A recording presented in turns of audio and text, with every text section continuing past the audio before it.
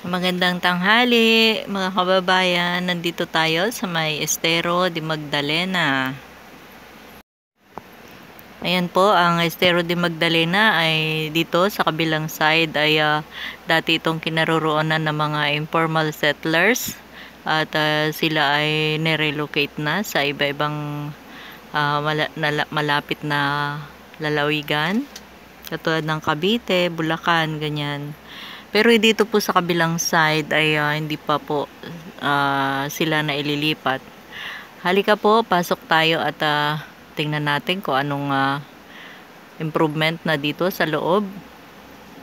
Uh, meron siyang gate. Ayan.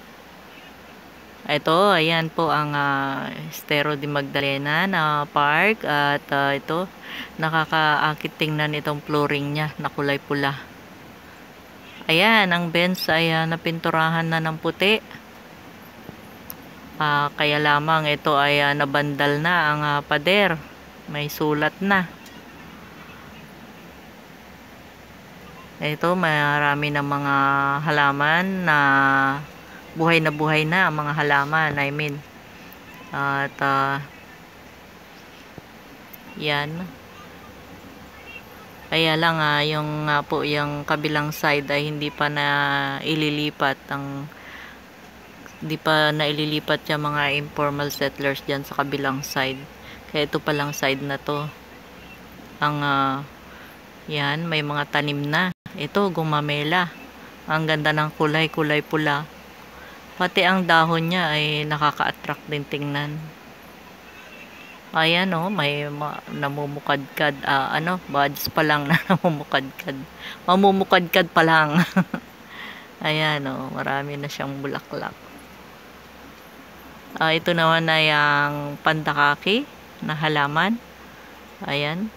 Para siyang sampagita ang bulaklak niyan. Kulay puti na maliit lang.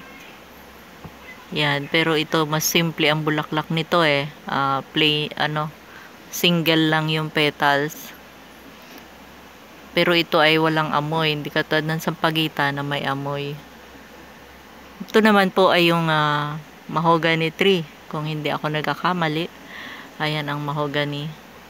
Berdeng berde ang dahon buhay na buhay. Ayan at malaki na rin siya. Hmm, ito po yung mga Chinese bamboo. Ayan at uh, ayan inaano ng hangin yung kanyang dulo. Eh, yung tinatawag na pag sa kawayan eh, lawis-wis kawayan.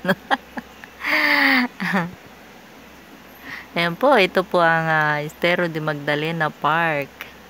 Sabihin na nating park kasi eh, pwede na siyang pasyalan. Ayan, may mga halaman sa gilid. At uh, ito ay pinapaganda na po pinapaganda mabuti ayan o oh. ang ganda tingnan mga